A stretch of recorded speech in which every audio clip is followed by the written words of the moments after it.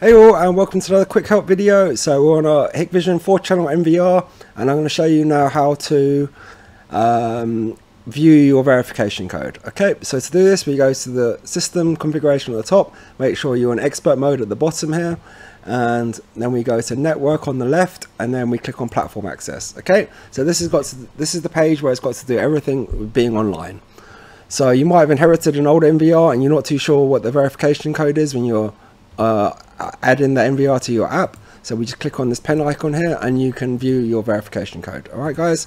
So you can change that. It doesn't have to match to anything. This is purely when you go on the app, it's going to ask you for this code. So basically it stops other people from uh, logging into your uh, NVR and viewing your CCTV, guys. All right.